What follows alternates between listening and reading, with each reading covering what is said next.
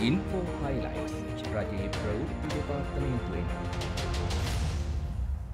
ජූනි මස 16 වෙනිදා දිනටදී තිබෙන පොසොන් උත්සවය වෙනුවෙන් දිවයිනේ පාසල් කේන්ද්‍ර කරගනිමින් විශේෂ වැඩසටහන් මාලාවක් ක්‍රියාත්මක කිරීමට අධ්‍යාපන අමාත්‍යාංශය කටයුතු යොදා තිබෙනවා. ඒ අනුව පිරිවෙන් බෞද්ධ සිසුන් බහුතරයක් ඉගෙනුම ලබන පාසල්වල හා සිසු සියලු අධ්‍යාපන ආයතනවල මෙම වැඩසටහන ක්‍රියාත්මක කරනවා. අධ්‍යාපන අමාත්‍යාංශයේ චක්‍රලේඛයක් මගින් සියලුම පළාත් අධ්‍යාපන ලේකම්වරුන් හා පළාත් කලාප හා කොට්ටාස් අධ්‍යාපන අධ්‍යක්ෂවරුන් පරිවේනාධිපති ස්වාමීන් වහන්සේලා සහ විදුහල්පතිවරුන්ට මේ සඳහා උපදෙස් ලබා දී තිබෙනවා. මහින්දාගමනයේ අනුස්මරණය කිරීම සඳහා ජූනි මස 12 වෙනිදා පාසල් පරිශ්‍රහ පන්තිකාමරතුර බෞද්ධ කොඩිවලින් සැරසීම සිදු කෙරෙනවා. ජූනි මස 13 වෙනිදා අසරණයන්ට පිහිටවීමට මුල් කරගත් වැඩසටහන් අදාළ පාසල්වල විදුහල්පතිගේ උපදෙස් පරිදි ක්‍රියාත්මක කෙරෙන අතර ජූනි මස 14 වෙනිදා සීල සමාදන් වැඩසටහන් පැවැත්වෙනවා. මහින්දාගමනයේ අනුස්මරණය කිරීම සඳහා තම නිවෙස්වල සැරසිලි කිරීම ජූනි මස 15 වෙනිදා සිදු කරන ලෙස සිසුන් දැනුවත් කර තිබෙනවා. පොසොන් පොහොයේදී තිබෙන ජූනි මස 16 වෙනිදා දෙමව්පියන් වැඩිහිටියන් සමග සීල සමාදාන වැඩසටහන් වලට සහභාගී වීම සෙසු ආමිස හා ප්‍රතිපත්ති පූජාවලදීමට සිසුන් දැනුවත් කර තිබෙන බවයි අධ්‍යාපන අමාත්‍යාංශයේ වැඩිදුරටත් සඳහන් කරන්නේ.